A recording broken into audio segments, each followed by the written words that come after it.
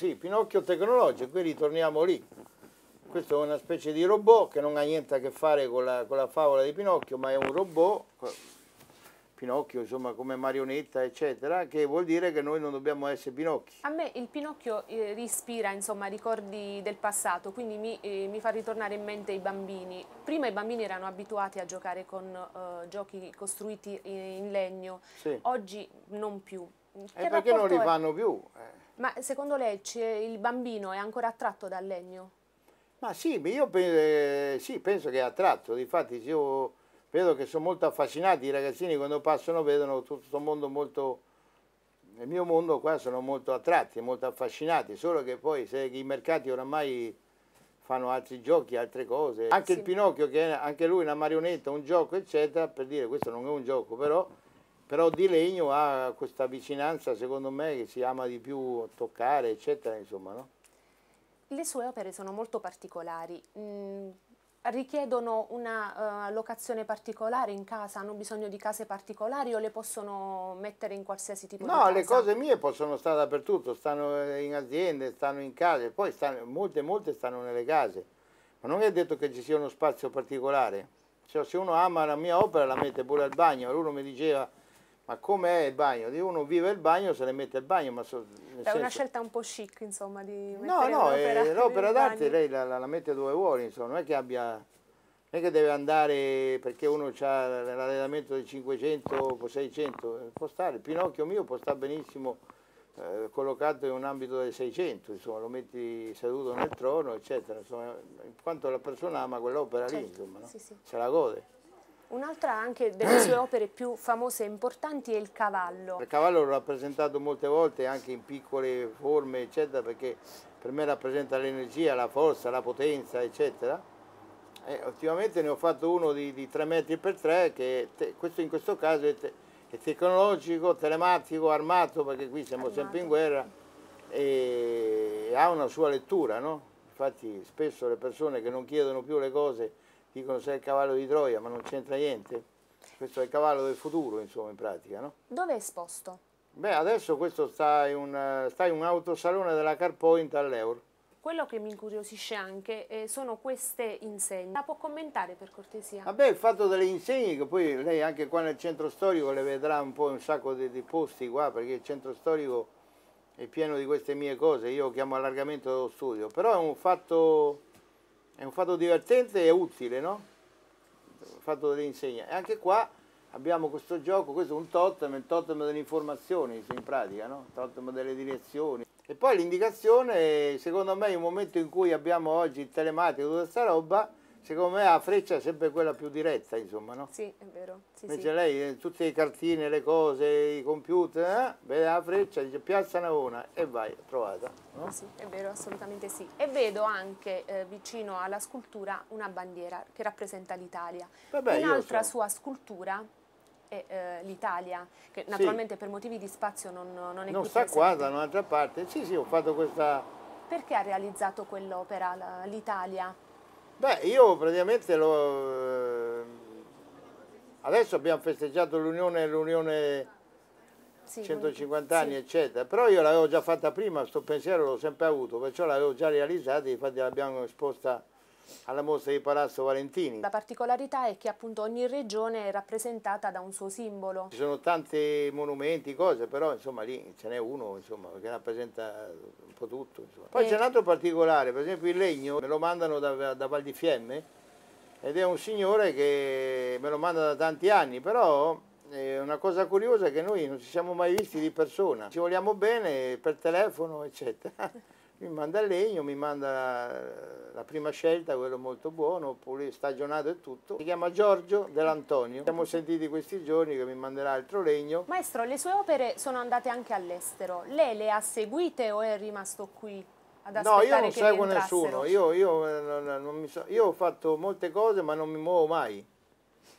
Quindi solo le opere si spostano? Si spostano le opere, ho fatto anche una bella mostra a Tokyo, cioè, c'è un'opera anche alla Banca d'Italia di New York, insomma, no? però non, non, ci vado mai, no, ma non perché io non, non, mi vado di viaggiare, perché io ho scelto di scolpire, insomma, poi diventa, secondo me diventa un viaggiatore. È così. E allora è più tempo dedicato a questo. E poi l'informazione, dice uno va, eh, qualsiasi cosa si può acquisire anche stando fermi, abbiamo, abbiamo libri, abbiamo fotografie, abbiamo documentari, insomma, non che vado in Amazzonia sì, sì, io per, per, per, vedere come sono gli alberi, insomma, io se voglio con la fantasia, la pianta che sta qui da fuori diventa tutto quello che voglio, insomma. Una delle sue ultime esposizioni è stata realizzata ehm, dalla provincia di Roma sì. e eh, ospite, uno insomma, dei, dei, visitatori è stato anche un altro grande maestro, Morricone. Sì. Due maestri. Che sensazione si prova? No, la sensazione è stata molto bella perché a parte che il maestro lo conosco, lo stimo e siamo amici, insomma ci, ci incontriamo molto spesso è stato molto carino anche lui quando l'hanno intervistato lì eh, su, su, di me, insomma, e anche lui, a parte che c'è anche lui in opere, opere, mie, eccetera, però voglio dire, lui ha, ha ritrovato, così ha detto nell'intervista, che ogni artista ha i suoi simboli, che poi dispone poi nelle varie opere, insomma, no? Pure nella musica è la stessa cosa, insomma, no? vero, Poi sì, dipende da sì. quello che uno rappresenta. Entrando ho notato una sua foto con Sua Santità. In che occasione lo ha conosciuto? Sulla Santità l'ho conosciuto all'epoca, non so se era 86-87, perché c'è stato, io ho creato una cometa di Alli di 5 metri e c'è stato a Roma il convegno sulla cometa di Alli, perciò è stata quest'opera esposta eh, all'Università di Roma, che è stato un convegno mondiale con tutti gli astrofigi del mondo e poi eh, anche, siccome anche il Vaticano co co concorre a queste, a queste, ricerche, diciamo, eccetera, e allora anche in Vaticano è stato fatto questo, questo grande incontro. No, poi è stata portata un'opera, una cometa più piccola, che io, è stata donata a Sua Santità a nome di tutti gli astrofigi del mondo. L'abbiamo riesposta al Palazzo Valentini. Palazzo Valentini è stata una mostra molto importante, voluta da, dalla provincia di Roma, dal presidente Zingaretti e dalla Fondazione Roma del professor Emanuele Emanuele. E soprattutto eh, stimano tutti e due, hanno fatto delle belle prefazioni, insomma una bella cosa, è stata molto visitata, anche perché il palazzo eh, merita. Altra invece foto che mi ha colpito con Madre Teresa di Calcutta. Madre Teresa di Calcutta io ho avuto, eh, avuto eh, anche qua l'emozione di incontrarla due volte, perché l'ho incontrata una volta in Rai, che c'era una trasmissione mm, eh, sulla fame nel mondo e perciò c'erano ministri, c'è anche lì delle mie opere, in quel caso lì ho donato una mia maternità, che sarebbe questa maternità, e poi una seconda volta c'era un'associazione una, che facevano un premio Donna d'Europa, che io facevo una Dea Iside perché veniva data a delle signore importanti ogni anno, non so, è stata data a Nilde Iotti, a Susanna Agnelli oppure altri personaggi, siccome lei è una religiosa mi se poteva dare una Iside? E abbiamo dato un'arca. E in quel caso lì appunto abbiamo donato l'arca e dove lei è stata molto contenta, dice così metterò sopra i miei poverelli. Maestro, con il legno si può parlare? Ma io penso sì, insomma, sì, il legno beh, è un modo di parlare questo, di raccontare, di comunicare. Tant'è vero che quando viene anche uno, uno straniero qua, cioè, non vuole che so la lingua io, no? Io già, basta che questa, questa persona vede le opere e la, e la, comunicazione è questa, insomma, no? E se no, io parlo l'inglese, ma quello parla cinese e stiamo sempre lì, insomma, non è che parlando una lingua due, a parte che io sono sempre stato allergico alle lingue.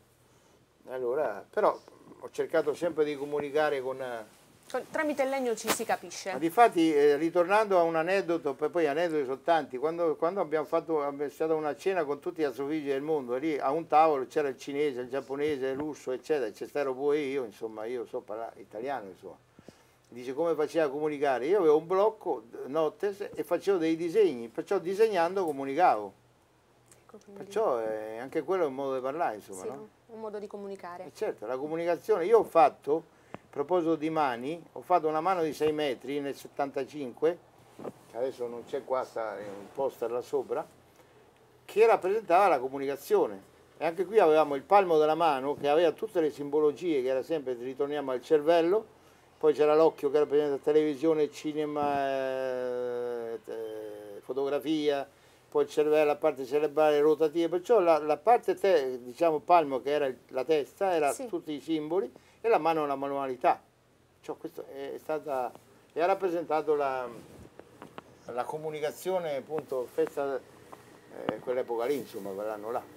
A proposito di testa, mi viene in mente La Medusa, un'altra delle sue opere. Sì. Quindi questa medusa che è ingabbiata però che con i suoi tentacoli esce... Ma quella può rappresentare tante cose, quella sì appunto potrebbe rappresentare il male a un certo punto, però la gabbia, vedi, i tentacoli escono, perciò non si ferma mai, insomma, cioè, una sorta di cosa diabolica, insomma. Quindi male, potere che comunque insomma, tutte queste fine... robe qua, insomma, no? Mm. Messe assieme, insomma. In questo momento sta realizzando qualcos'altro? No, ultimamente ho fatto una, una bella scultura per la, per la CEA, ultima- l'ultima opera per la CEA di Roma. Ho fatto un totem che in questo caso, siccome loro hanno fatto, hanno fatto i 100 anni della CEA, allora c'è questo totem di due metri e mezzo, anche qua pieno di tutte simbologie che raccontano un po' la storia de- dell'azienda, insomma, no?